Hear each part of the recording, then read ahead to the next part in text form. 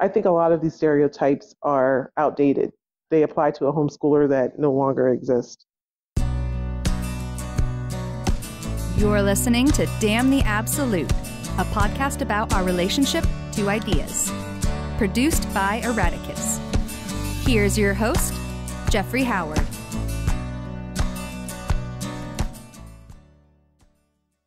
Welcome, friends, philosophers, and fellow practitioners of ideas. This is episode 10 of Damn the Absolute. Mass schooling is a relatively recent phenomenon, an experiment in education that gained steam following the Industrial Revolution, becoming increasingly widespread in the 19th century in part due to advocates like Horace Mann. Mann was a social reformer, skeptical of parents' abilities to properly educate their children to become future employees and democratic citizens. He believed that these common schools, as they were called, could remedy the lack of proper discipline found in some households. Notably, Mann homeschooled his own children outside the dictates of these common schools he advanced for other people's children. Further, he and his fellow reformers worried about the flood of diverse immigrant families that were challenging contemporary cultural and social hegemony. Mann went so far as to argue that these marginalized groups were wholly of another kind in morals and intellect. Mass schooling champions asserted that compulsory education was necessary for preventing the corruption of young children in the hands of those they deemed ill suited to properly foster their moral and intellectual development, namely, their families and respective communities. Traditional schools were to be the means of instilling a particular sense of shared American identity that would allow American democracy to function well. Now, this is not to color all mass schooling advocates as cultural chauvinists, but to highlight that what we consider traditional schooling today is in many ways informed by the notion that parents and children lack the skills required to learn outside the schooling system. Traditional schooling embraces a view that learning best occurs when a uniform curriculum is imposed upon young minds, children being segregated according to age within rigid classroom structures. It is commonly held that becoming a successful and contributing member of a democratic society requires going through the mass schooling system. Conventional schooling's primary goal is knowledge acquisition, with everything else being secondary. Students tend to be treated as passive subjects, receptacles for the knowledge deemed necessary by their teachers, school system administrators, and other centralized educational authorities. What might a more student centered learning environment look like? What if, instead of imposing a universal curriculum onto children, they were instead provided with the resources needed to help them achieve their own self selected goals?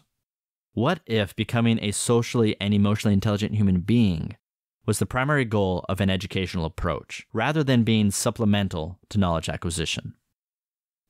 Tiersa McQueen is an unschooling parent of four children. Following her own experiences as a teacher and her children's encounters with mass schooling, her family has embraced unschooling and gentle parenting. According to McQueen, these two philosophies go hand in hand holding central the idea that children deserve full respect, greater autonomy, and tailored support as they learn how to thrive as young people, and eventually as adults. Despite her advocacy for self directed learning, she acknowledges that she isn't completely opposed to schooling. It's still an option for her kids should they choose it. However, as a black parent, she is well aware of the school to prison pipeline and the reality that black children are punished far more frequently and severely than other children in schooling environments. She expresses that she can't wait for traditional schools to change in order for them to become safe and nurturing places for her children. McQueen considers the criticisms lobbed at unschoolers and self directed education advocates, suggesting that many of them are stereotypes pertaining to a type of homeschooler that doesn't really exist anymore.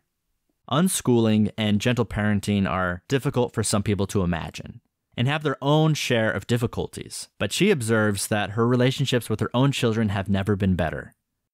She also notes that the depth of her children's learning has increased dramatically as they've been able to direct time and attention toward their own goals and interests. some things to further consider.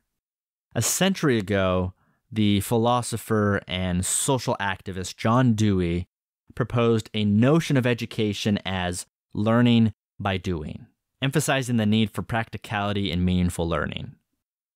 What might happen if more young minds were afforded this approach, supported by family and community members as they experimented with overcoming the challenges they face in their particular social environments? In what ways might an unschooling approach to learning better prepare people to navigate the demands and problems unique to their local contexts?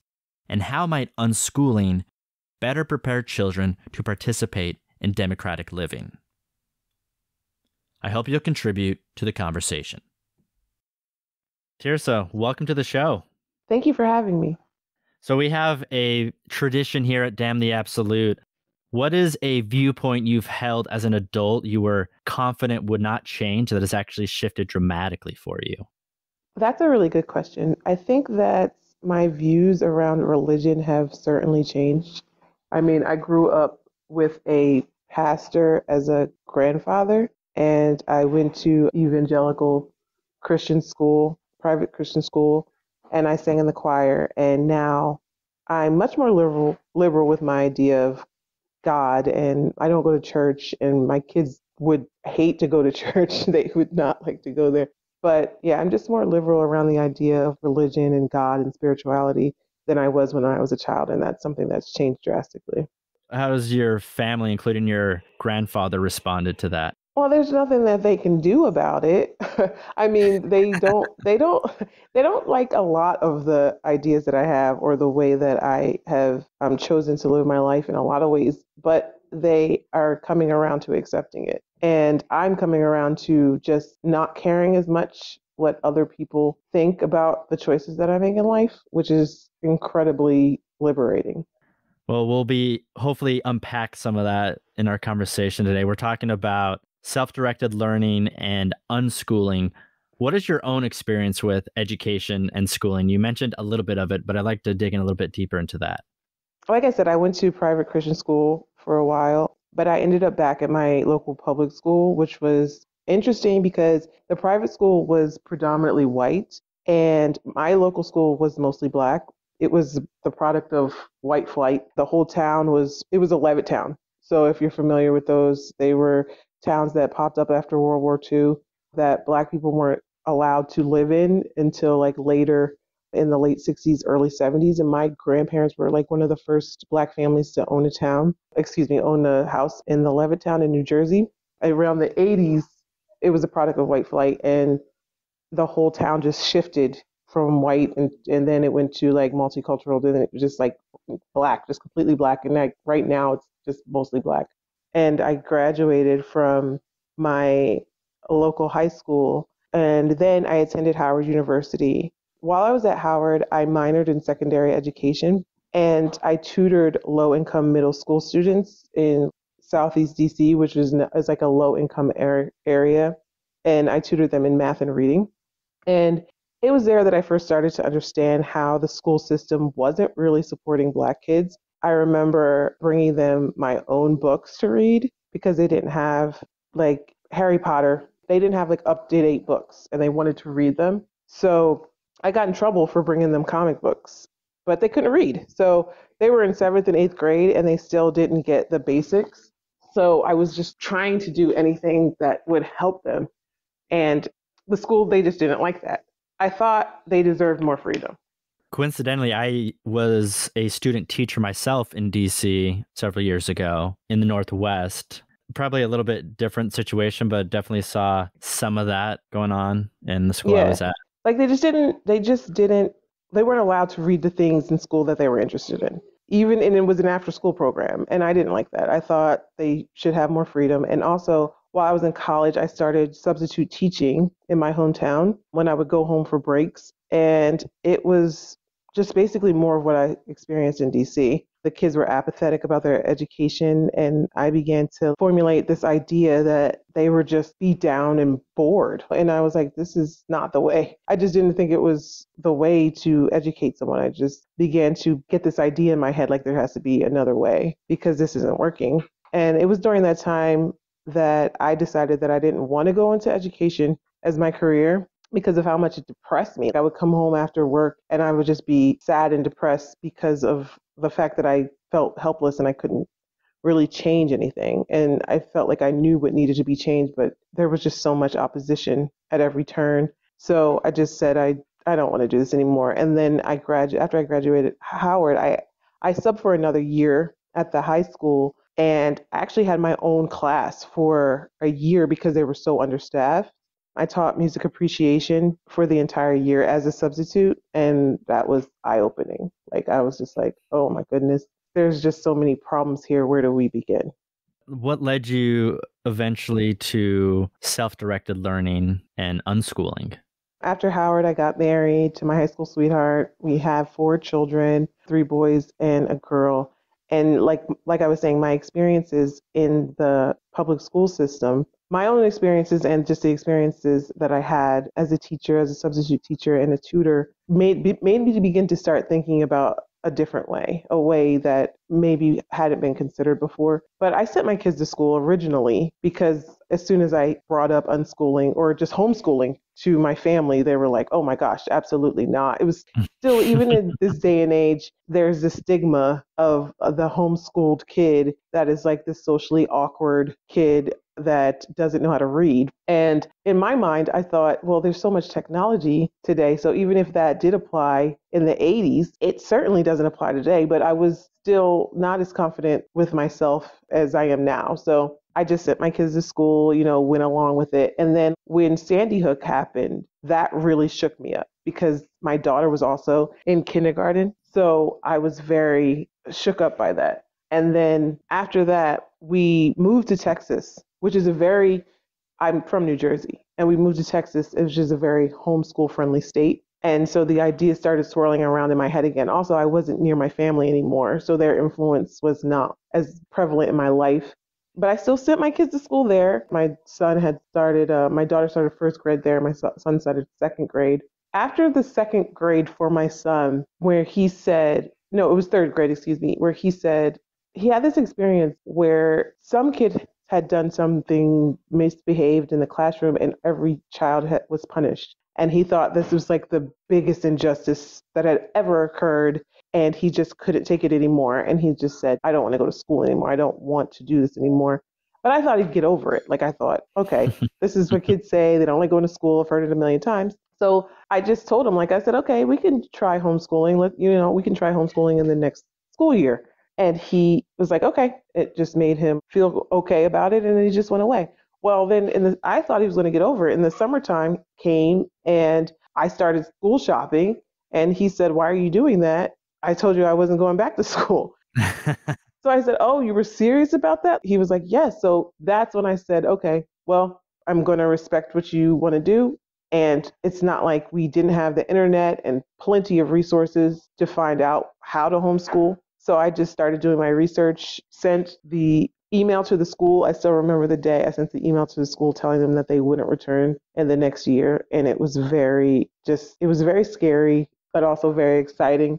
So we just started homeschooling, the regular homeschooling, like school at home, bought the curriculum, the whole nine yards. We started at the kitchen table with the books open and we felt free for the first time. Like the kids felt free because they could sleep more. That was the first thing that I realized they were sleeping so much more. They needed more rest than they had been getting. They could also eat when they were hungry and use the bathroom when they needed to. So those things were definitely the the initial benefits of homeschooling, but then the school at home model still felt restrictive to us. Mm-hmm. There were still tears over math. There was still the I you have to do this right now and no why do I have to do it was still the battle back and forth. And so it didn't feel right. It felt like well we left school so that we wouldn't be fighting all the time. We wouldn't be having these daily struggles and we still are.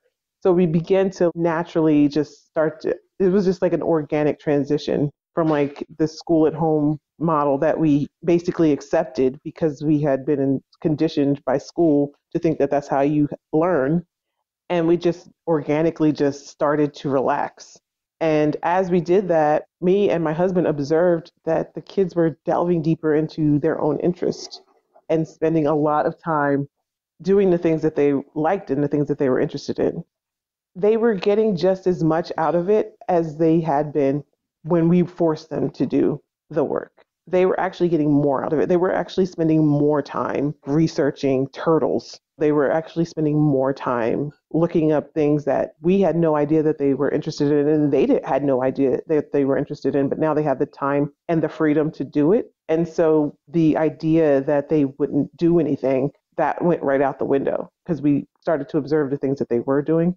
And one day I just said it was the beginning of the next school year. I was still using the school calendar, who knows why, but it was the next school year. And I said, what if we didn't buy curriculum? What if we just decided to do what we wanted to do and just saw where that took us? And they said, okay, yeah, let's do that. That's how it started. It just, it wasn't, I didn't even know what unschooling was. I didn't have, I had never read a John Holt book or anything. I had never knew the term. It just just naturally happened. And then it was after that that I decided to, well, I need to find out if other people do this and join a community of people who do this or just just start to understand how people naturally learn. And that's when I discovered unschooling.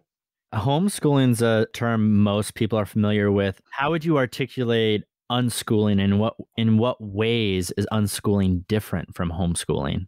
Unschooling families are homeschoolers. We learn at home, we don't go to traditional school. It's the approach to learning that makes it different than like an eclectic homeschooler or classical homeschooler. And our style is just child led in every way. That's not to say that we don't make suggestions or encourage the kids to take classes or read books that we think that are in line with their interests. It's just they have the right to say no. It's just a non-coercive way of learning. That's the main difference. There's many styles of homeschooling. Unschooling is a style of homeschooling. Curriculum seems to be a, a key point of distinction as well between the two. A lot of other types of homeschooling will perhaps, for lack of a better term, impose a curriculum on their kids, whereas it sounds like for you and for most unschoolers, it's very much kids decide what is of interest to them and they pursue it and you provide as many resources as possible. Is that accurate? That's absolutely accurate. I often say that it's not my job to tell the kids what to do. It's my job to tell them, it's just my job to help them with what they want to do and to provide the resources and tools to help them do it. What are some of the biggest criticisms or maybe negative reactions you get from people when you talk to them about unschooling? Oh my gosh. I mean, I know there are a lot. I've heard I've heard them all. Basically, the first one, I think the biggest one is like what about math? People get really caught up in math. So that that is a thing like what about math? I, I remember I had someone I was describing unschooling to them and they they said, I don't think I ever would have learned multiplication if I hadn't been forced to learn it. And I was I just don't think that that's true. You know, you might not have learned it in the way that you learned it, but you probably still would have learned it just through grocery shopping and just trying to decide how many packs of jello you need to, to for your family. I don't know, but you would have learned how to multiply in a natural and organic way. Another criticism is how will they learn if you don't force them? That's ridiculous because people learn. You can't stop people from learning. Human beings learn. That's what we do. We learn every single day. Try to go a day without learning. I dare you, just try to go a day without learning something. I, I, I would love someone to report back to me that they learned nothing.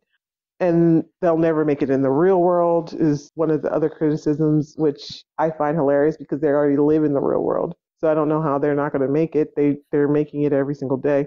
And there's always this elusive homeschooler, unschooler that every naysayer has met that doesn't know how to read I don't know who this kid is, but everyone's met him and he can't read. So those are the biggest criticisms that we get. Building off of that, the criticism of unschoolers not being able to adapt to the real world, I think that comes from this concern of when you quote unquote enter the real world, you have bosses and supervisors who, in a way, impose things onto you. You don't always get to choose what you want. What is your typical reaction or response to that? Well, no one gets to choose everything they want to do. If you thought of my kids' childhood as Disney World, everyone thinks of Disney World as this wonderful, fun place. But when you get there, it's hot. You have to wait in lines. There's a lot of things that happen at Disney World that you don't want to do, but it's still fun. The overall experience is considered fun. It's the same thing with unschooling. When my children learn about something, there's a lot of things that they have to do within that topic that they don't want to do. If my daughter, she loves to bake, if she's baking, there's a lot of things she doesn't want to do while she's baking. She doesn't want to necessarily clean up after she bakes, but that's a part of it. I understand what people are saying, but no one in life gets to do every single thing they want to do, even within the things they want to do. There are going to be tasks that they don't want to do or that they have to learn in order to have a fulfilling experience within that thing. I just don't think that people consider that when they say you can't do everything you want to do. Of course you can't do everything you want to do. It's part that's part of the experience is learning the things that you are willing to do to, to, to be uncomfortable to get to the broader experience of what you do want to do. There's another criticism that gets thrown around a lot that you've alluded to, and that is socialization. There's this notion that if you unschool or homeschool, your kids are going to be improperly socialized. How do you respond to that? We socialize dogs, we don't socialize people. I r- rarely lead with the fact that my kids homeschool because of this stereotype that there's the stereotype of the awkward, unsocialized homeschooler or unschooler. I've met so many people who when they just meet my the kids, they just meet our family and they talk to us and it's it's all good. And then they inevitably ask where do they go to school? Because for some reason people don't know how to socialize with children. They they accuse my kids of not being socialized but they don't know how to socialize with children without saying something about school. The only questions they have to ask them are associated with school. So they'll say what school do they go to? Or what grade are they in? Or what's their favorite subject? All things that are related to school they don't ever they just aren't considering them as people. Like i said i don't lead with the fact that they're homeschooled. And usually when people find out that they're homeschooled they're surprised because they aren't what people generally think of as homeschoolers because they're not awkward they do know how to talk to people and i in my experience i found that unschoolers and homeschoolers in general because they have so much experience in the world they are able to talk to everyone, just not just children, but adults as well. Like my son, he's 15 now. He he's an avid chess player, and he used to go to before COVID, unfortunately, to chess at the library, and he used to always joke that chess at the library is nine-year-olds and 90-year-olds. So he gets to play with nine-year-old kid and a 90-year-old man, an elderly man, and he can talk to any of them. And so they get to experience everyone because they're not segregated by age. And I think that it is only a benefit for them in the real world, quote unquote. Like my son has had already, he's had a um, job interview at the grocery store and he did phenomenally. They were extremely surprised that, by the fact that he is homeschooled because he's able to speak with people. He's not intimidated by adults. He actually prefers to talk to adults. Yeah, I'm not. I, I'm just not concerned about it as people seem to be. And I think that they are also living in the past. I mean, we we spend like we're talking through the phone right now. I've never met you, but I just was talking to you looking at your face through the computer. So that's how people get to know each other nowadays and it's it's fine. So we have those options are more available to us than they've ever been. I think a lot of these stereotypes are outdated. They apply to a homeschooler that no longer exists. Hello, friends. Jeffrey here. Please go ahead, take a quick moment to click that subscribe button and rate us. It really helps us to further grow the community around Damn the Absolute. Enjoy the rest of the episode. I'm impressed when I've interacted with people who have unschooled the amount of confidence and assurance socially that most of them have had I recall a couple years ago when I was touring a democratic free school or an unschooling school, and I was at a table with a few other adults. A couple of them are staff there, and we were talking. And one of the teens, probably 13 or 14, just very comfortably sat down and joined the conversation. And there wasn't this typically unsure or uncomfortable early teen interaction that happens with a lot of teens I interact with or probably how I was when I was in a traditional school when I entered a table of adults. And I think it speaks to what you're talking about of the social and emotional intelligence that can develop when you are a kid who's interacting with people across all ages.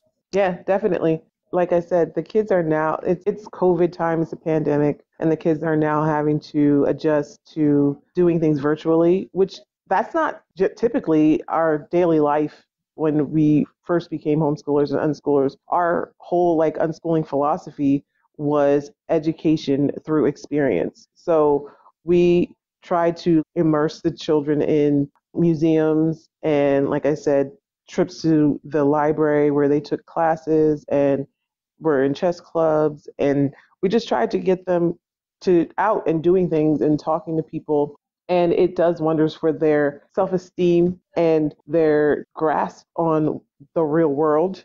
So they are able to talk to people and not feel any type of self consciousness about it at an earlier age. And I will say that it takes time. It was something that they grew to, especially when they were deschooling or transitioning from being in a school environment to just an unschooled environment. But now at this point, it's just second nature it's a wonderful thing to see how much they've matured. Speaking to the the social interaction piece, what is it like when your kids interact with other kids who do attend school? How do they navigate that? Because I can imagine, and I know that some kids who are in schooling environments are kind of shocked by that as well. That's they don't generally talk about it. Like with other kids, it's adults that usually ask the schooled questions with other kids, they don't ask those type of questions, not right away. They usually ask something about what, how old are you? Or, you know, what are you interested in? Do you, have you seen the latest Marvel movie? Something like that. Actually, my daughter joined the local Girl Scout troop. And when she started, there were already a bunch of homeschoolers in the troop. It was a mixed troop, schooled and homeschooled girls. And you wouldn't be able to tell which one were homeschooled and which ones were were schooled from the outside if you just interacted with them. And not they don't care either. The school kids actually a lot of the school kids think it was awesome prior to covid but they thought it was it was awesome that my daughter did have the freedom to homeschool. They they a lot of them expressed the, the wish to homeschool themselves so it's never been an issue for us with other kids it's been more of an issue with adults than children unschooling seems like it corrects against a lot of shortcomings that occur in traditional educational settings too. So, but it does have its own challenges. And if you alluded to some of them, what do you find are some of the most common challenges or concerns with unschooling? I would have to ask my kids what they find is the biggest challenges for us. I think the most most of the challenges that they would cite would probably be due to the pandemic now because like I said, they're they aren't able to live life in the way that they once did and experience the world in the way that they once did, which was primarily how that was our like educational way. That was like our philosophy for life was like getting out and doing things.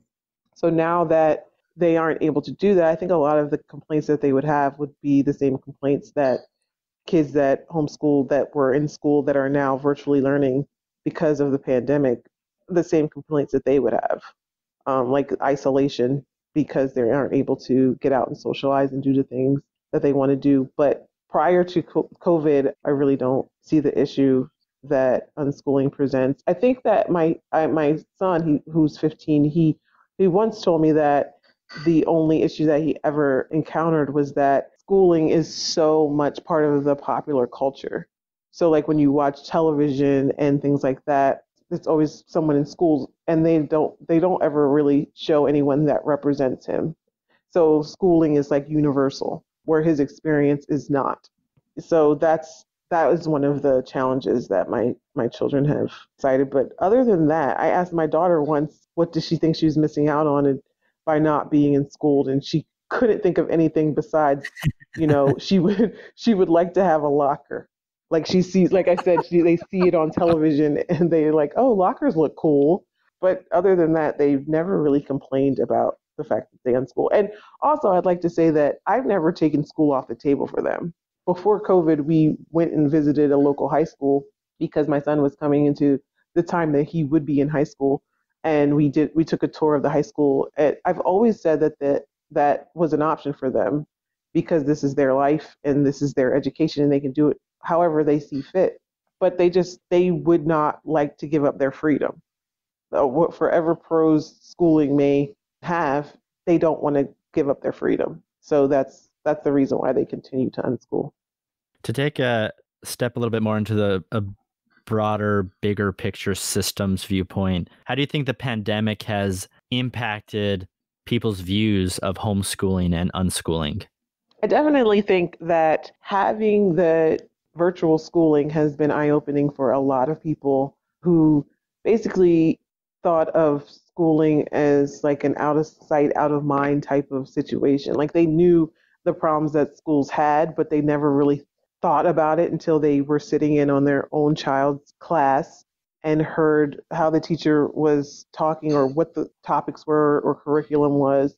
So I definitely think it's been eye opening to people. And in another way, too, I think that people assumed a lot of things about homeschooling that they now realize aren't true, that they thought they couldn't do it. And now they realize, oh, I could do this. You know, it, it becomes way, it has become much more accessible to people than it had pre COVID because people started doing it. So I think that those are some of the ways. And I, I'm actually grateful for COVID because of the conversation around schooling and around changing things. And I think that a lot of parents have become more active within their own child's education in that way.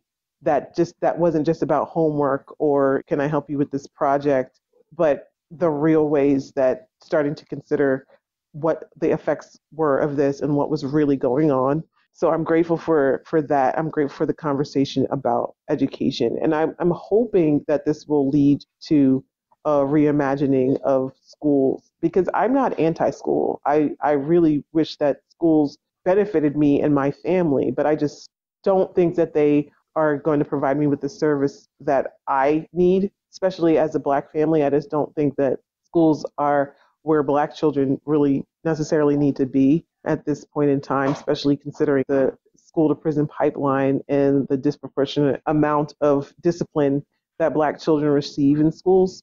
But I'm not anti school. I wish that they were able to provide those things. And I'm hopeful that one day that they will be able to, but I don't have time to wait for them to get together. I really just feel like if I waited, my, my kids would be graduated and we'd still be having these conversations. Presuming a lot more people got on the unschooling train or embraced more self directed learning, what are some policy proposals you would like to see happen in the schooling system, whether that's locally in your state or on a federal level? Well, I just, when I think about this, I just think about it in a more broader sense because we're unschoolers and we allow our children a lot of freedom. I would love for more children to have the ability to be free and I'm not even talking about free in ways that are not things that we've seen before. Because when I was in school, when I was like, I remember, I distinctly remember being in, in first grade, the school was right across the street from my house, and I was able to walk home from school to eat lunch. I distinctly remember the teacher saying, Okay, who's going home for lunch? And I raised my hand and I walked home for lunch right across the street. And then I walked back as like a six year old. And I just think that we gotten too far away from that and the freedoms that we once enjoyed as children we no longer have and people see children like walking to the park or riding their bike and they want to say like why is this kid alone they get afraid when i don't know when that shift happened because i was able to ride my bike and i walked to the local to the corner store and got my mom eggs and milk when I was a very little child. So those are the type of things that I would like to see. I would like to see children have more freedom, and I would like to see parents not be as afraid to let their children have freedom. Afraid. I talk to parents all the time about that, and they'll say things like, "Well, you know, if I do that, someone's going to call CPS on me." So I, I would love to give my child freedom, but I'm afraid of other parents. So those are the type of things that I would like to see change within the laws so people aren't so afraid of those things. You've talked a lot about the connection between educational preferences and your parenting style. how would you articulate the connection between the two and what is your parenting style or parenting philosophy?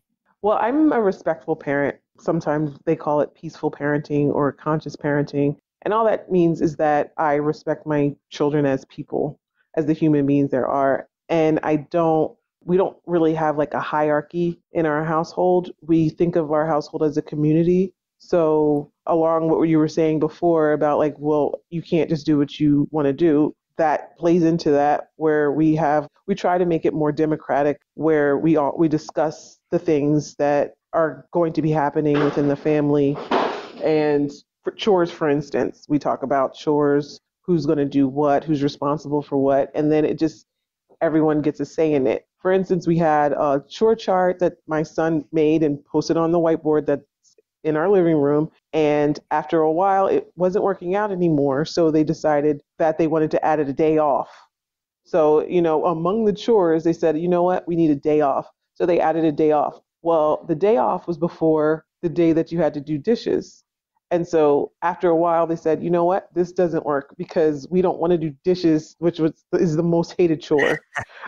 we don't want to do dishes the day after we had a relaxing day off. So they switched it, and so now it's dishes and then a day off. This is the type of thing that goes on in my family life, where everyone is considered, and we don't just do what we want to do, but it's we try to think of each other as part of a community and all the things that we do are to the benefit of that community and we all have a say. So that's my type of parenting style. And I really don't understand, I don't think that you could be an unschooler or like have that type of learning philosophy and not also be a respectful parent. I don't think that the style of schooling or, excuse me, um, learning works well with authoritative parenting. I just don't think it does. For us, unschooling is what led us to be more thoughtful and considerate of our children in, in every way.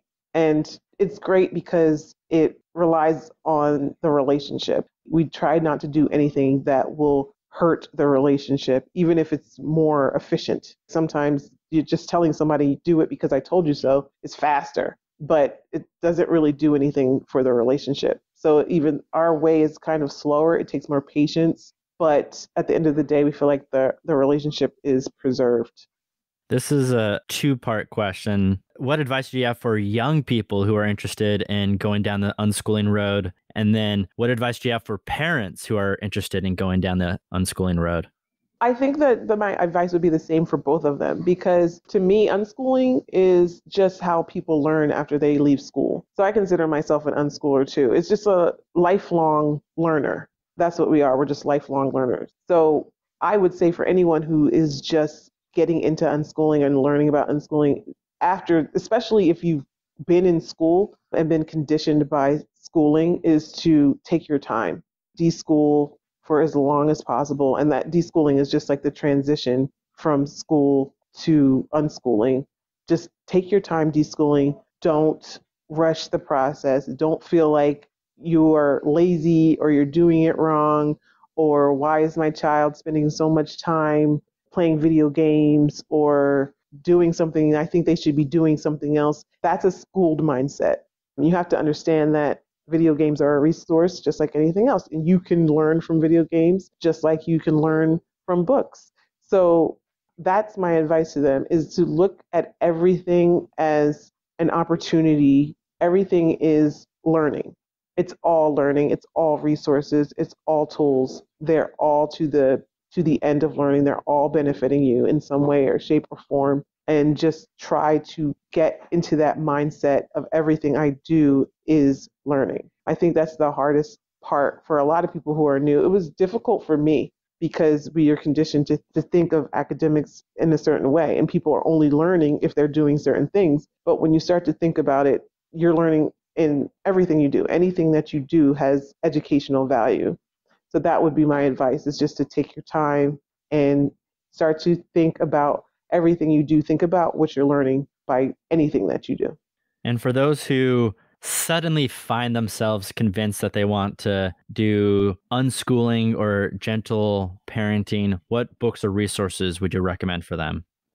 Oh, I love Akilah Richards' books. I always recommend her books. I also really, I've been reading Untigering, so I would recommend that book as well. It's a book on on gentle parenting. I love uh, Free to Learn by Peter Gray. I would definitely recommend that book. There's just a really, it's a, a lot of unschooling books that have come out recently. Definitely since I've started, there's been a lot more people writing books about the practice and gentle parenting and respectful parenting, and I and I love to see it. I think it's awesome. Well, Tiersa, thank you so much for coming on the show. And hopefully, it challenges some of our audience's views on what learning and education can look like. And I wish you the best of luck. Thank you. I really enjoyed it. Thanks for having me. Thank you for listening to Damn the Absolute. I hope you found our conversation worthwhile. We would love it if you could leave us a review wherever you listen to podcasts, whether that is Stitcher, iTunes, Castbox, or one of the many other options available to you. It goes a long way in helping us to build a community committed to fruitful ideas. See you next time.